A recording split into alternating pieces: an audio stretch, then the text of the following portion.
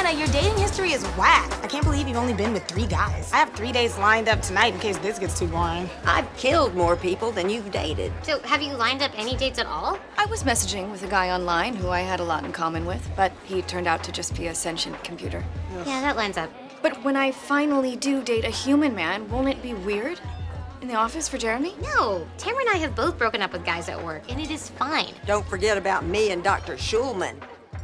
Anyway, she and Morgan are really close right now. We're not that close. I mean, sure, we have lunch together every day, and I talk to him before I do something big, but outside of work, we only hang out like four, five times a week. Hey, sister, denial ain't just a member of One Direction. Excuse me, ladies. That gentleman over there just sent these your way. Oh, he fine. Well, Actually, stop. These are all for her. The gentleman didn't know what you liked, so he sent you over a whole assortment. And it's up to you if you want to share with your, I want to say, bus driver friends. Oh, okay. Oh my god, Anna, you hit pay dirt.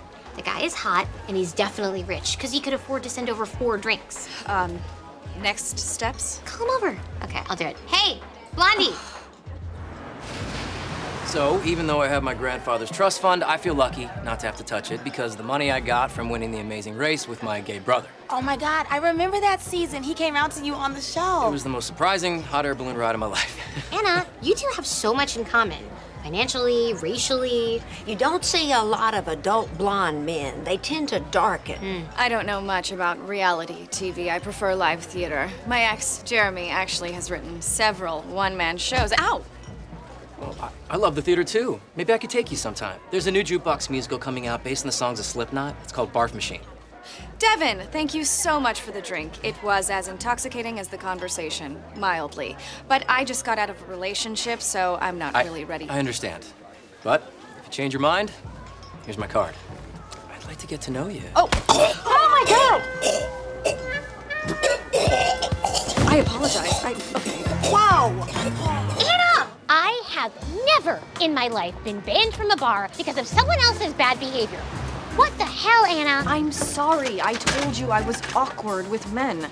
Awkward would be Zooey Deschanel playing a jazz standard on the ukulele. You crushed a man's windpipe. I'm sorry. I just miss Jeremy, and whenever anybody else touches me, I have a bit of a violent reaction. This is a little dramatic. Oh, oh my God! Whoa, whoa. okay, she's not being dramatic, it's real. Sorry. That's the tenth time you brought up Jeremy. Whoever he is, you must really love him. Oh God.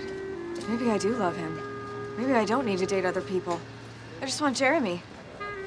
He was the one. He was in front of me the whole time. And I just took him for granted. Okay, okay, you've been single for like two days. Why don't you wait a little longer? The NYU freshmen show up next week. Aren't you married? Yeah, but that's not like fun. That's not like hanging out with girlfriends and going to bars. That's very disturbing, and you should examine your relationship. Mm-hmm. Excuse me. I have to leave. Aw, man, Anna's hotness was gonna get us into the club. Well, at least we have you, Tamra.